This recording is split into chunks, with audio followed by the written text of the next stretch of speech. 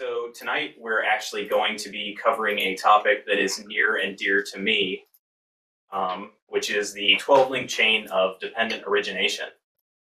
And one of the reasons that I sort of developed an affinity for this teaching is that the first two or three times it was presented to me, I could not follow at all what I was being told about.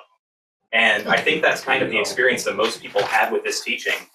First of all, um, it's quite complicated. It's got 12 pieces at least. But the main idea behind this is to sort of give us a more nuanced view of dependent origination, which is a foundational teaching of Buddhism. And so one of the things that I find sort of interesting about this teaching is that in some of the stories about how the historical Buddha had his enlightenment experience under the Bodhi tree, the 12 link chain of dependent origination is extremely important. This was actually the insight that led him to awakening. And because of this, the 12 link chain of dependent origination is one of his most important teachings that he delivered to other followers. So, the intended audience, if we look to the threefold Lotus Sutra for this text, was a group called the Pratyeka Buddhas. So, we think when we're looking at the sort of um, early Buddhism of these two groups of the Shravakas and the Pratyeka Buddhas, and the Shravakas are sort of the Buddha's disciples, literally the voice hearers who he comes and uh, he he comes to town. You know, he gives people teachings, etc. They ask him questions, and they sort of follow him around and get a lot of instruction. Where the Pratyeka Buddhas go off on their own and they practice in solitude. And the 12 link chain of dependent origination, according to the Threefold Lotus Sutra, is a teaching that was given to the Pratyeka Buddhas. So these are people who don't need a lot of uh, a lot of extra guidance, we could say. So I wanted to look uh, just briefly at the Lotus Sutra in chapter 27. The a Buddha from the long distant past, universal surpassing wisdom Buddha, uh, is sort of visited by uh, the these heavenly kings who come from all of the different directions from other worlds because they see this light emanating when he awakens, and they come to find out what he has to say. And he teaches them three things. The first is the Four Noble Truths. The second is the 12 link chain of dependent origination. And then the third is the Lotus Sutra.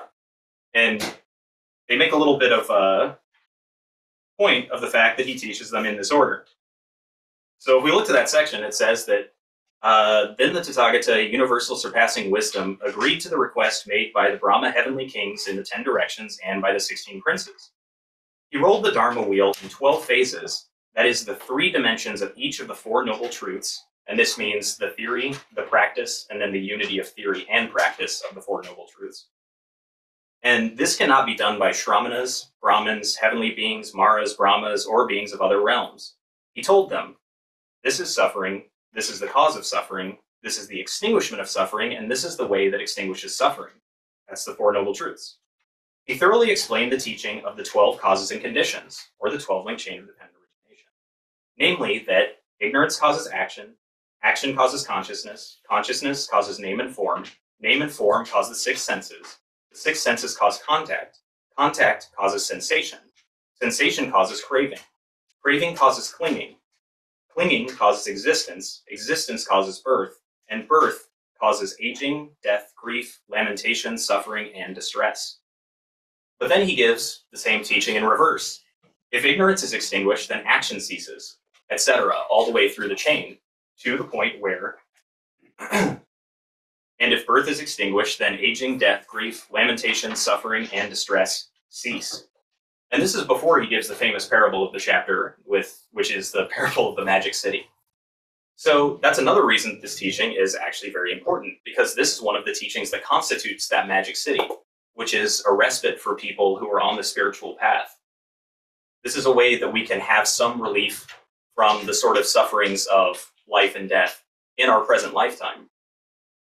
Uh, go to the next slide, please.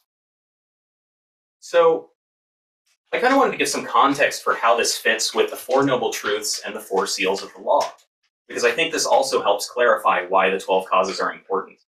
And this is actually a chart that's presented by uh, Mizuno in his Essentials of Buddhism, which is a great little book about sort of fundamental Buddhist teachings that gives pretty easy explanations. And so if we look at this, if we're talking about the sort of notion of causality, cause and effect, in a general sense, uh, we're talking about physical causation. We have two ways that this is talked about. Um, one of them is the temporal sense. With the arising of this, that arises. With the cessation of this, that ceases. And this is sort of common in the in the Pali Canon. And then we have a spatial and theoretical version of that, which is when this exists, that exists. When this does not exist, that does not exist. And these are conveying similar things, but a sort of different aspect of them. So, corresponding to the four seals of the law, the temporal part is the impermanence of things, and the spatial and theoretical part is that things are devoid of a persistent self, or the teaching of Anatman. In other words, uh, one side is highlighting their impermanence, and the other is highlighting the fact that they don't have causal independence. Everything is related to other things through causation. But then we look toward the, the as Mizuno labels it, the religious or mental type of causality. And this is where we get the 12 causes. And we have the 12 causes as arising, which corresponds to uh, the fact that all things are characterized by suffering.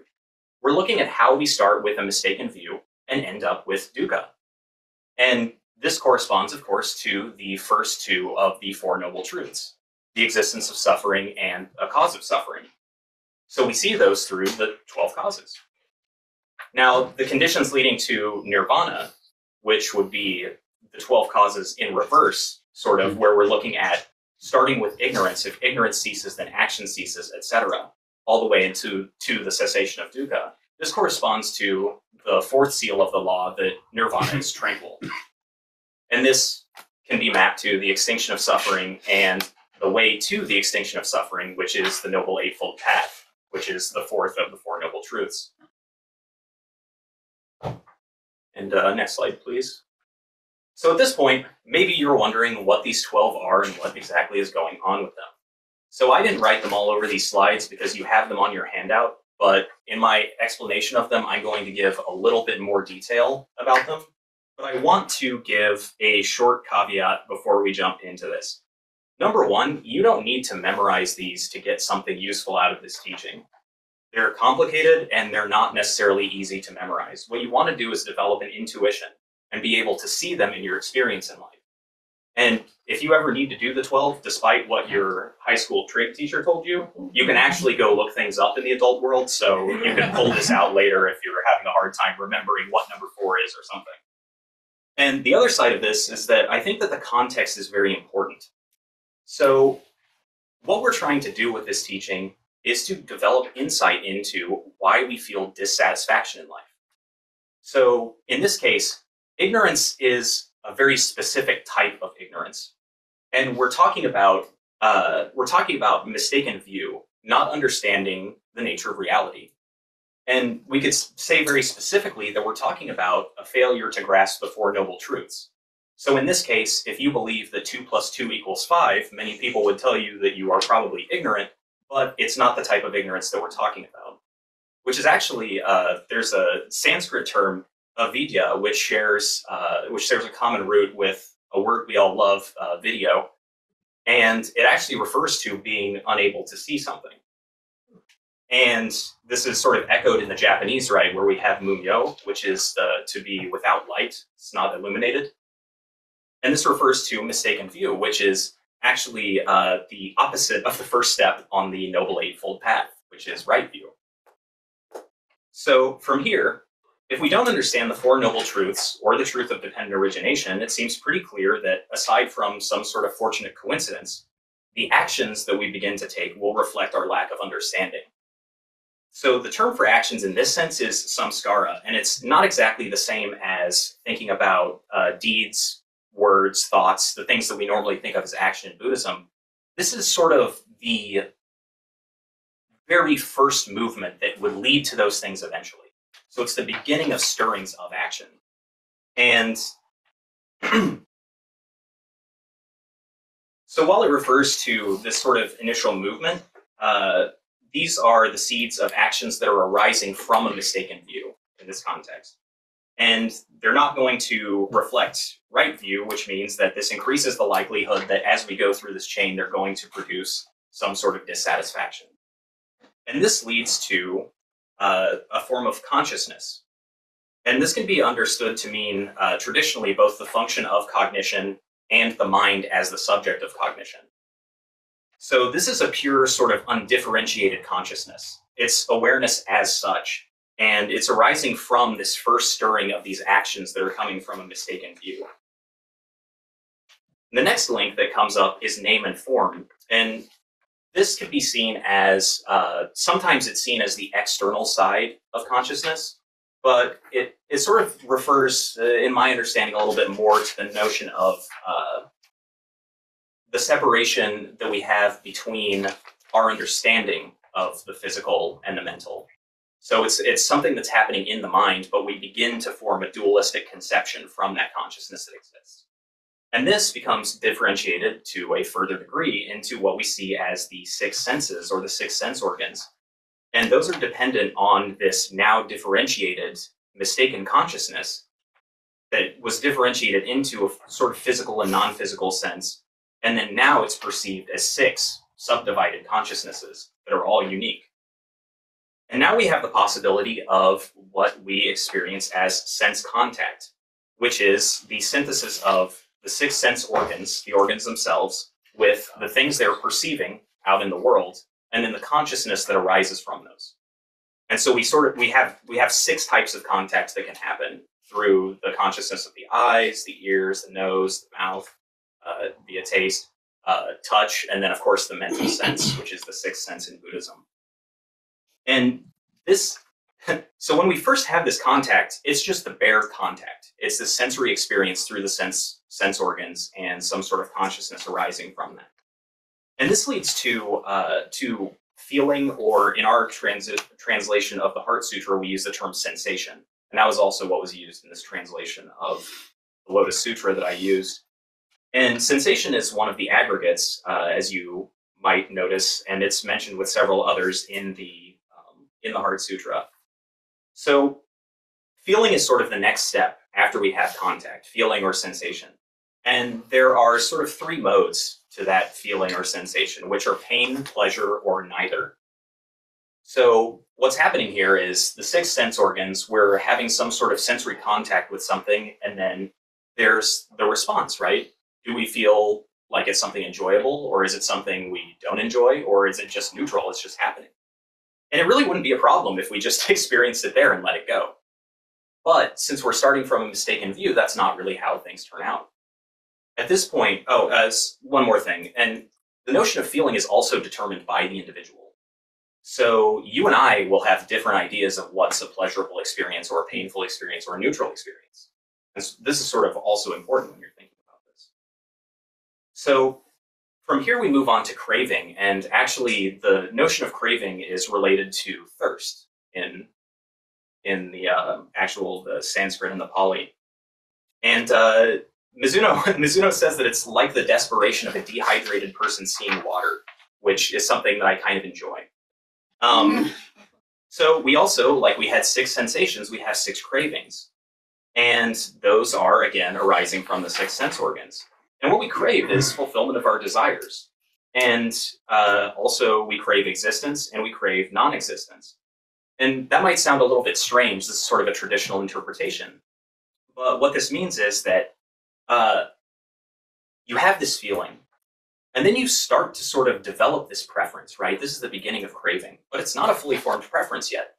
But you're already sort of putting inertia into the future you're already building up this thing that's going to lead you to dissatisfaction. You're already creating an expectation that can be mangled later. And it's through this desire to repeat this, this, this pleasant experience or to avoid this painful experience. But that's just the seed of craving. And then this sort of inertia gives rise to what we call grasping. And grasping is uh, a little bit more insidious. So originally there were four types of grasping, which were the grasping for sensuous desires, uh, stubborn and egocentric views, attachment to heretical practices, and ideas arising from the concept of a self, which goes back to the four seals of the law contradicting the notion of an Atman. So grasping is an expansion of the sort of longing or rejection that made up the cravings. And when we grasp at the things that we crave, we'll, we're setting ourselves up to a point where in the future we might do anything to try and get that experience again. And this is when we talk about attachment. This is sort of where we're at. So at this point, you still haven't actually, you haven't taken any action, but you're starting to have this experience that's going to lead to actions that are going to cause dukkha. Well, here's where things get fun. So that inertia builds, right? And at this point, you have you are attempting to hold on to and give permanence to things that you crave. And this is the notion of becoming or existence. And this is still mental. This hasn't been brought into the world outside of your mind. So we might recognize that this is uh, connected to several other Buddhist terms that we see, like svabhava, self-existence, or parabhava, relative being of things brought about through causation. So becoming in the 12 in the 12 causes precedes birth and refers to both a karmic existence and a retributive existence traditionally. And this is uh, a view of existence in terms of good and bad, and the second type is existence in terms of the result of good or bad karma. So this longing or rejection is a cause combining with surrounding conditions and arising from grasping. And that accumulated en energy indicates what birth, in this sense, will follow. And grasping and becoming can be understood as corresponding to the earlier link of action, and craving can be seen as corresponding to the earlier link of ignorance. The actions arise from ignorance and contain both action and the residual power of habit, so that grasping, which arises from craving, gives rise to becoming as a result of the power of habit. The energy we put into our mistaken views becomes reified and solidified conceptually to such a degree that now it can be born, in a sense. And birth follows from becoming and refers to the action of a specific experience in life. A new experience arises with the previous links as its basis and can take the form of, here we finally have them, our deeds, our words, and our thoughts. And this means that what is born corresponds to the three mysteries in Buddhism, which are body, speech, and mind, the three karmic generators. Old age uh, and death, grief, sorrow, suffering, lamentation, and worry arise through birth, and this is seen as a truism in early Buddhism. To have experience or to be experienced, a person or thing must be born. And we can take this final stage to also be the cause of future ignorance, if we see this as a cycle uh, competing with, uh, completing this self-replicating cycle of samsara, or endless rebirths. Because we experience old age and death, we're often too distracted to take a longer, wise view, and that will transcend our sort of fundamental ignorance of Four Noble Truths and dependent origination. And the cycle continues. Next slide, please. As you can imagine, uh, a lot of exegesis went into uh, sort of looking at this, and there are several different ways you'll see it interpreted. Two of the most interesting are uh, most common, I guess, are outer causation and inner causation. And this gives you an idea of how one could talk about outer causation, which is that we take the 12 on the far left column, and we can divide this up into the causes and effects of the past, present, and future. Ignorance and action being the causes of the past. Consciousness, name and form, the six senses, contact, feeling, these are the five effects of the present. Craving and grasping and becoming are the three causes of the present. And then birth, old age, and death are the two effects of the future. And when you combine all of these together, you have the causes and effects in the past, present, and future. This can also be seen as a teaching that responds to multiple generations, where the two causes of the past are the generation of your parents, the five effects of the present, and the three causes of the present are in your present life, and then birth, old age, and death are the generation of your offspring. And that's sort of a multi-generational view that we could think of as being related to ideas like intergenerational trauma and cycle breaking, those sorts of things we talk about in the 21st century. The other is inner causation, which is the way that I've covered this so far, where we're talking about our momentary experience. But what's wonderful about this teaching is that it can be applied across all of those domains of time. Uh, next slide, please. So how do we use this and what do we do about it? Yeah. Well, here's my simplified view of it.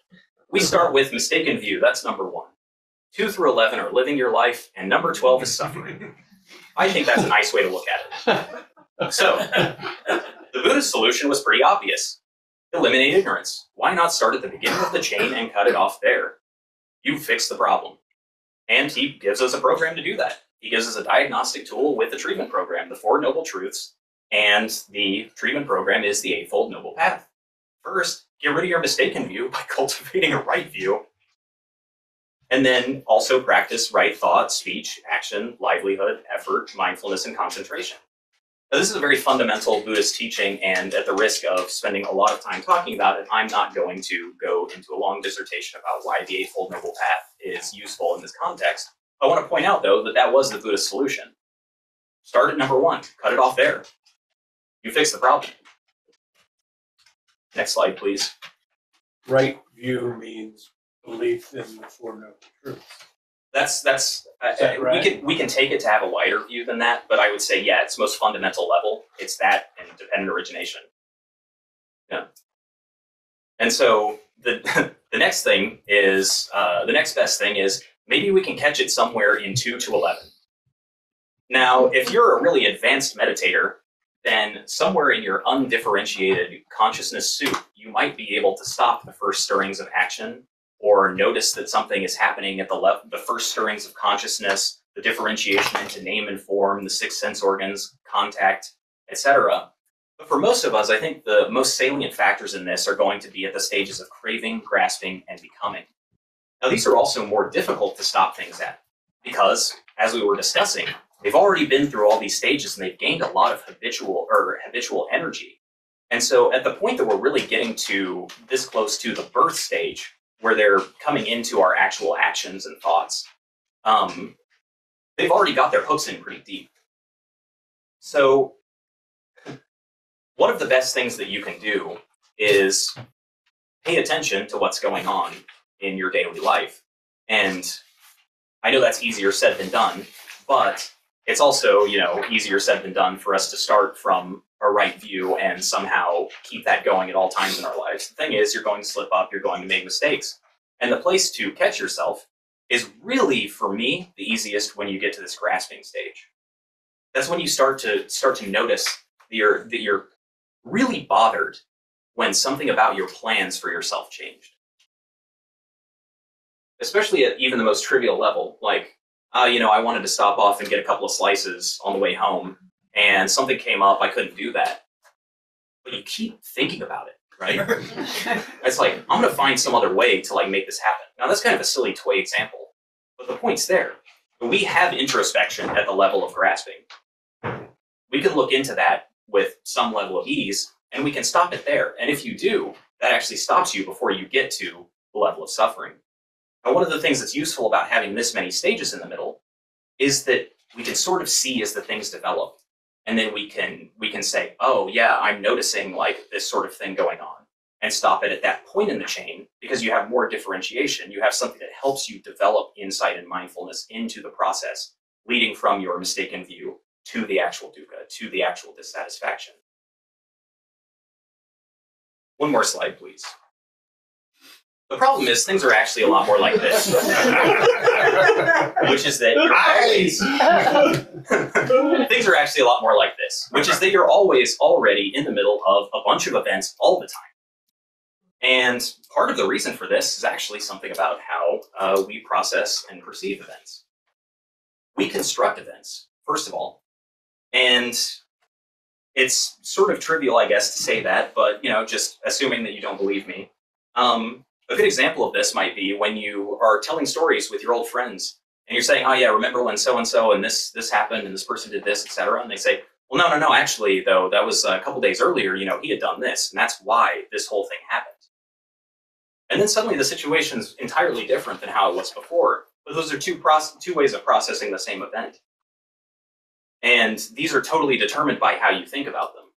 We see something similar when you ask somebody for advice and they point out to you a really obvious solution that you would have never come to yourself. And you're sitting thinking, yeah, why didn't I think of that? I could have made one phone call and that totally fixes this whole problem. It's very easy for us to get lost into these cycles of dissatisfaction and sort of keep spinning our wheels and not be able to break out of them. So, what if instead of having to wait for the stage of craving, etc., etc., we could say, well, actually, at this link in the chain, let's look for the mistaken view in it. We could always dial it back to step number one if we needed to, because even those steps are themselves more constructed events. This teaching can be used with this fractal structure, where no matter what unit of time you want to use, you can still apply this teaching. It's about how we understand and process an event. So we can always look at a, sat- a dissatisfaction that we have now, and we can run the clock back a little bit in our minds, and we can see why is it this way. But then we can also say, right now, what is the mistaken view that's making me dissatisfied right now? That's another way to use this same teaching.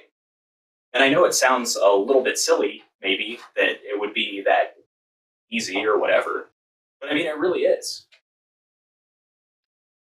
The trick is being able to develop the insight and the intuition to start thinking about and looking at things in those terms.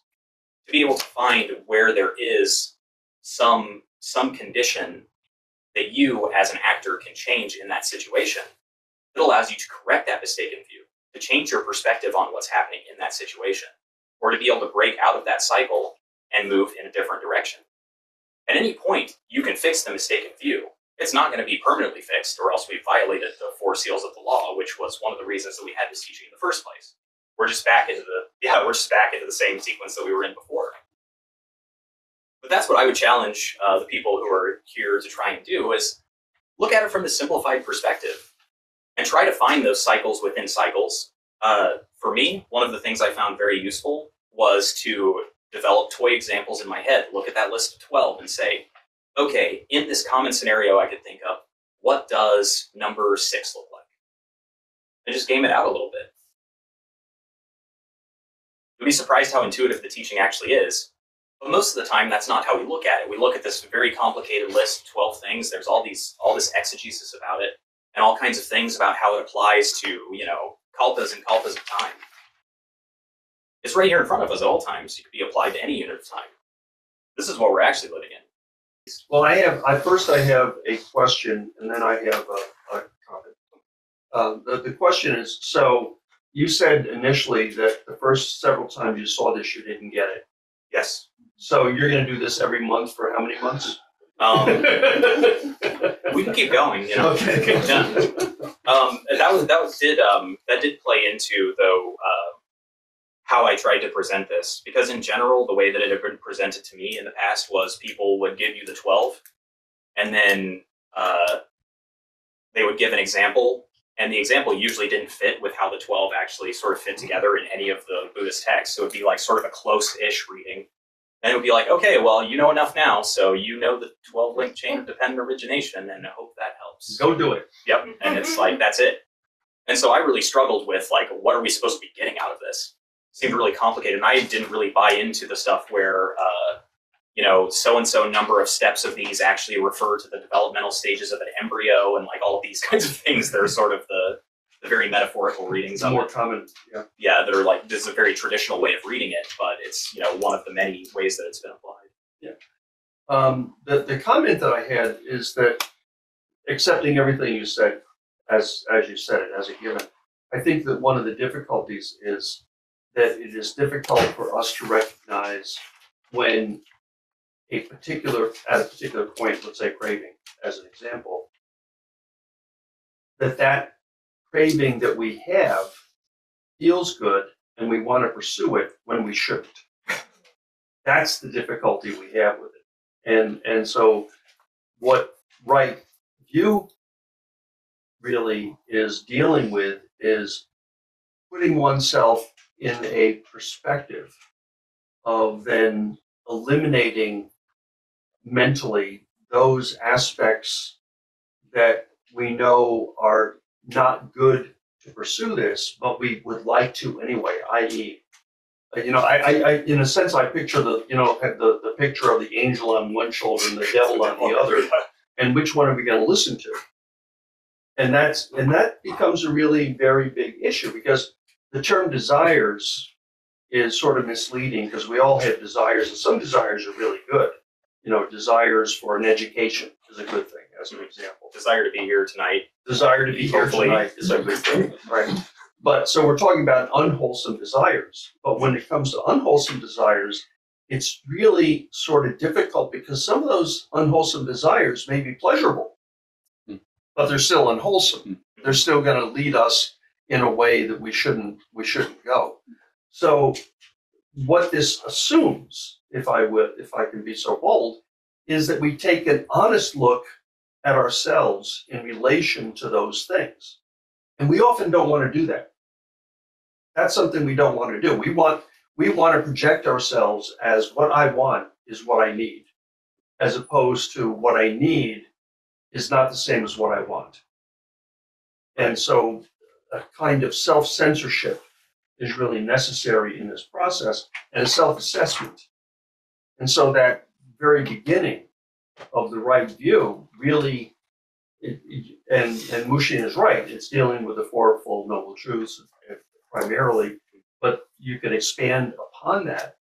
But at some point, it comes self knowledge for understanding what right action really means.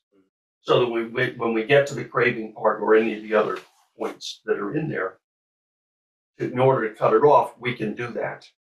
And we're willing to do that. Are we willing to do that is a different issue. Right. You know, it's, it's like, uh, and I'm going to use a, a, a practical sense in a, a, you know, practical example. We know that universal health care would end a lot of misery in the country, but we don't have the political will to do it. We know that's what we need. It may be also what we want, but we don't have the political will to do it for whatever reason. That's on a, uh, that's on a more societal basis. But it's the same sort of thing on an individual basis.